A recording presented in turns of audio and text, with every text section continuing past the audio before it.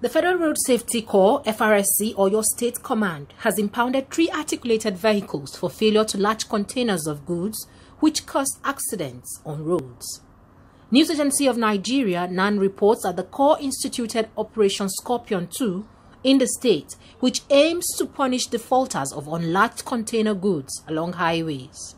FRSC sector commander in the state, Chukwurah Uche, said the offense would attract a 50,000 naira fine while the operation lasts from Monday, August 10th to Sunday, August 16th. Operation Scorpion, this is the second phase, is about enforcing the law that says that all uh, container carrying vehicles must be lashed. So the purpose of this morning operation or this week's operation is to ensure that all trailers carrying or load bed carrying containers are lashed, properly lashed penalty is going to be dangerous driving, which is 50,000 naira.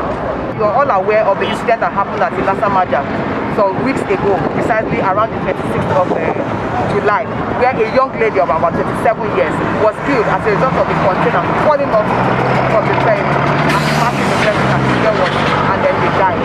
We're also going to be looking out for their tires. We don't want them to be using expired tires or worn out tires. We're also going to be looking out for their driver's licenses. They should be licensed to drive those vehicles that they are carrying. And uh, we're not going to stop them.